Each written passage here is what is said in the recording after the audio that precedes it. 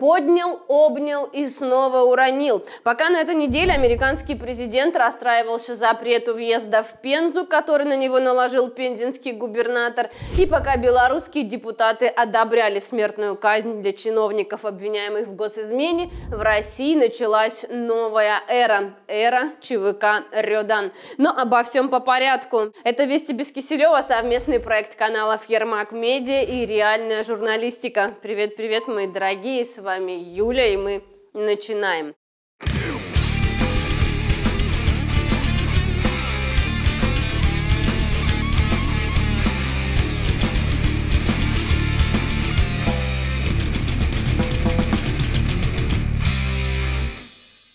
Вот, казалось бы, наша страна часто и громко говорит о денацификации, о том, что неплохо было бы проучить всех тех, кто против русских, кто их как-то притесняет или не дает им спокойно существовать. Но тогда скажите мне, почему в самой России плодятся люди, готовые ни за что начинать драки и калечить людей? За последние две недели в торговых центрах Москвы, Петербурга, Курска, Новосибирска, Ростова, Казани и многих других прошли массовые драки с участием представителей ЧВК «Рёдан». Кто это такие и почему у подростков развязались руки, пока до конца не ясно. Ясно одно – новое течение – это следствие курса страны. Почему Вагнеру можно, а нам нельзя? Результат 152 задержанных подростка, и это только в одном торговом центре Санкт-Петербурга. В воскресенье подобная драка состоялась и в Тольяттинском парк-хаусе. При этом сами представители группировки утверждают, что пропагандируют мир и зачинщиками драки не являются, выкладывая в сеть видео, где потасовки и правда начинают ребята со стороны. Но, друзья, ведь должен быть и провокатор, а он почему-то в кадр так ни разу и не попал. Кстати, не могу показать вам эти кадры, боюсь, что за пропаганду жестокости нас вновь могут отправить в бан, поэтому посмотрите эти многочисленные видео сами. Главное тут, наверное, это цель, и, похоже, именно она и оказалась достигнутой. Группа Рюдан, которая, кстати, если верить аниме, является отрядом элитных бойцов, начала набирать не только обороты, но и подписоту, причем абсолютно на всех интернет-площадках. На этой неделе уровень дестабилизации достиг таких пределов, что в ситуацию решили вмешаться и российские лидеры мнений. Вот, например, Мизулина считает, что драки провоцируют украинские спецслужбы, а глава комитета Госдумы по безопасности и противодействию коррупции товарищ Пискарев мыслит чуть пошире и утверждает, что это дело рук всех недружественных стран. А Песков и вовсе решил не разбираться, кто прав, кто виноват, а просто пресечь все противоправные действия пауков и минусовать эту, как он выразился, псевдокультуру. Правда, как это сделать, Песков не пояснил. Ну, видимо, как это у нас обычно бывает, проверят всех и отменят черный цвет пауков и длинные волосы. Ведь именно этим и прославился ЧВК Рёдан. Что ж такое за ЧВК Рёдан?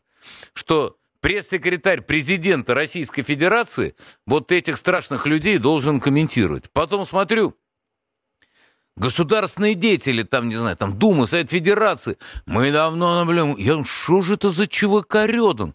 Что же это за бандиты? Драки в торговых центрах, замес. Я смотрю, кто же такой?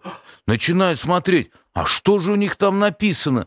Ой-ой-ой-ой-ой, аниме, пауки, на душе только боль. Это мне серьезно сейчас? Это вот это главный информационный повод, вот эта фигня полная? То есть вот сейчас вся страна будет заниматься укронацистской разводкой, которая взяла и жалких, слабых, мелких детишек, которые и так все в пессимизме. Анимешники вот сейчас так полиции будем разгонять? И все бы ничего, если бы не одно «но». Эта же субкультура отметилась и в стороне Украины, устроив массовые беспорядки в Киеве, Львове и Харькове. По данным издания Life, все прибывшие на сходки рёдановцы были вооружены кастетами, газовыми баллончиками и холодным оружием. Сценарий все тот же. Торговый центр, драка, задержание. И вот теперь самое интересное. Украина во всех беспорядках обвинила Россию.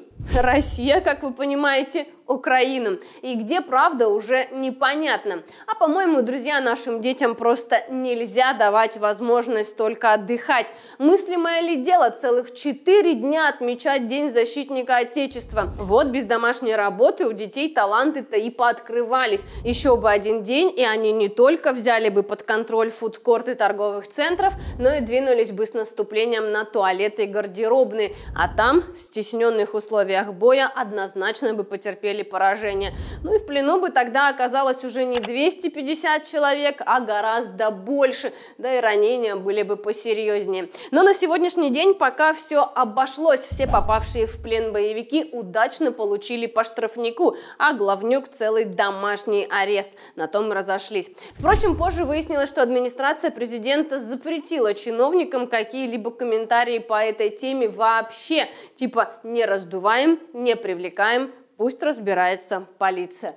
Ну пусть, пусть. Тем более, что у Москвы реально есть над чем подумать. На этой неделе произошла самая массовая атака беспилотников на российские города. Обращаюсь ко всем гражданам страны, ко всем работодателям, семьям. Нам их заметили в Брянской области, где пострадала вышка связи, в Белгородской области, где дрон вызвал пожар супермаркета, а также в Адыгейском поселке Новый. В ночь на вторник два беспилотника ударили по нефтебазе в Туапсе, а уже утром того же дня из-за неопознанного объекта было закрыто небо над Петербургом. Правда, к вечеру его все же открыли, но шуму наделали на несколько комментариев вперед. Уже не будет уменьшения, то есть будет только увеличение каждый день э, будет, будут работать эти беспилотники, может быть, где-то до десятка в сутки, в зависимости от задач, они уже могут работать. Э, зайти на глубину 800 километров, сбросить и вернуться обратно, он может. Или он может зайти в одну сторону на тысячу там 400 на полторы тысячи километров, он просто потом обратно не вернется. Особенно после сказанного вздрогнула Москва, ведь еще один беспилотник не долетел до цели всего каких-то 100 метров, рухнув в Подмосковье около Коломны.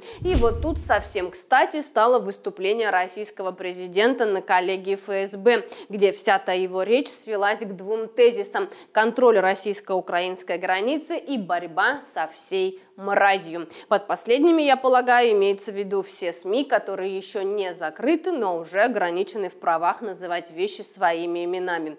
И вот итог. Опять призывы, опять поручения, опять наборы букв и никакой конкретики. А знаете почему? А потому что никто ни за что не отвечает. И ничто в России так не объединяет людей, как пофигизм и бездействие. Особенно тех, что начинаются на заглавную и жирную букву «Г». Ну, это главы всяких ведомств и регионов. Я, знаете, на этой неделе случайно наткнулась на статью «Танк для Путина». И сначала была даже удивлена, что для президента России, оказывается, собирали целый танк. Работа над ним началась еще в 2019-м. Спустя два года что-то похожее на бастион для президента презентовали в День танкиста. Но пока так и не были опробованы в действии. Но оно и понятно, зачем испытывать неудобства, когда их можно заменить комфортом бронепоезда.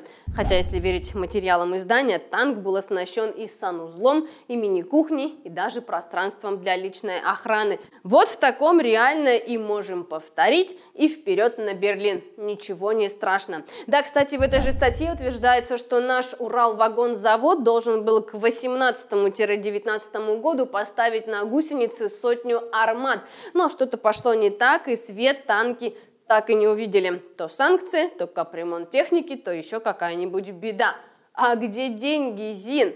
А деньги вместе с мужиками ушли на спецоперацию. На этой неделе Forbes украинского содержания попробовал посчитать затраты России на освобождение тех, кого не бросают. По мнению автора, эта цифра достигла трети бюджета всей страны и составила 115 миллиардов долларов. Сюда вошло обеспечение войска, причем не самого высокого качества. Это по мнению моей соседки, которая каждый день вяжет и относит на пункт сбора помощи по несколько пар шерстяных носков. Это зарплата военных, а также компенсация компенсации погибшим и раненым. Конечно, это неофициальная информация, и, как сказала бы наша пропаганда, это ложь провокация. Но главное это ведь здесь не сумма, а сам факт. Мы огромные деньги тратим на то, на что можно было бы поднять Россию, улучшить демографию и сделать из детей реальных патриотов, потому что они бы понимали, что страна их не просто родила, но и вырастила. А пока наши патриоты это товарищ Газманов, который усердно заклеивает изолентой марку Прада на своей куртке и во всех СМИ жалуются, что в Европе заморозили его недвижимость. Ну, у меня фактически отняли две квартиры в Латвии и в Италии. Я когда, кстати, вот говорю в таких интервью, сразу целая куча опять бандерлогов набегает. Ага, получил там и так далее. То есть это моя частная собственность. Я ее купил. И слово заморожен, то есть мне теперь, я не имею права, как и в Латвии, кстати, продать эту квартиру и сдать в аренду.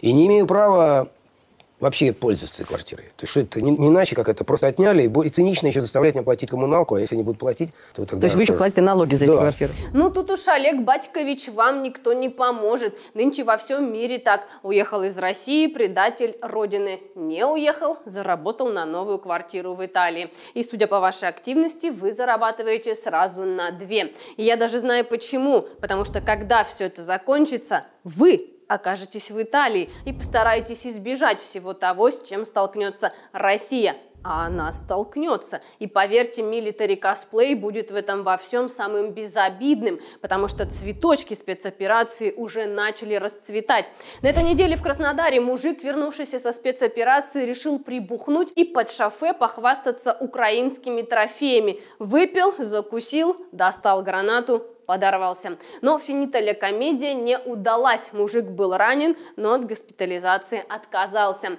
Позже в его квартире нашли второе такое же устройство. Впрочем, пояснить, зачем доброволец вывез его из зоны боевых действий, он не смог.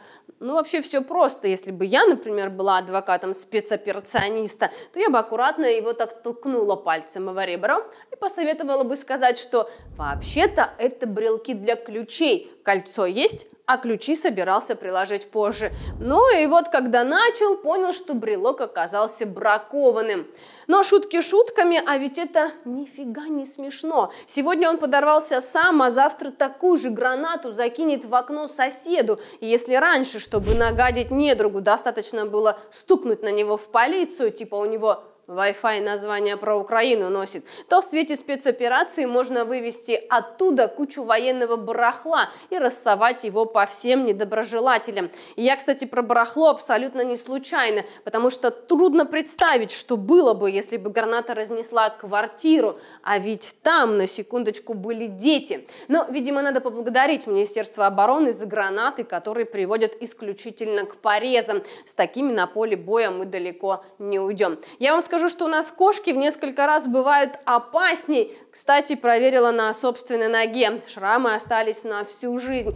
Так что не заигрывайте с кошками и с бывшими спецоперационистами. И те, и другие могут быть абсолютно непредсказуемыми. Ну и на этой остерегающей, оберегающей ноте я хочу закончить свой неожиданно будничный выпуск новостей. Но я обещаю, что мы увидимся обязательно вновь на том же месте – но, возможно, не в тот же час. До встречи. Всех люблю. Пока-пока.